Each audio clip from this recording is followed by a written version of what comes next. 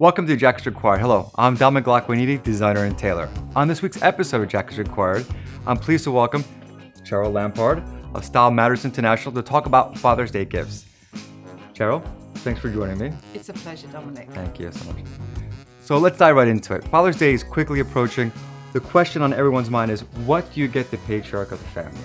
Sure, well, there's lots of options, but a good pair of sunglasses would be great. Let's get rid of Dad's old blue blockers and bring him bang up to date with some stylish options, especially down here in Florida. Let, let's, let's do that. Absolutely. So great. So what's next?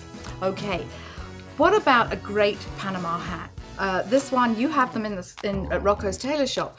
And it's by Stetson, one of the most famous hat makers. Not only is Dad gonna look cool, he's gonna keep cool. Now, tip if you're buying a hat for somebody else and you're not sure of the size, take an existing hat or even a cap, take it along for a bit of size guidance. That'll help. That's actually a great piece of advice. So if someone wants to buy something more in the traditional route for Dad, He's gonna come to you.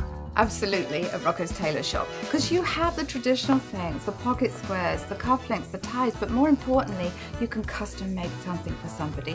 Could be a gift certificate, could be a bolt of cloth with dad's name on, could be a hat, as I've already mentioned. And then you can make up what dad really wants later on. absolutely. You know, here at Rocco's, we're more than happy to create custom gifts and custom pieces for all our customers.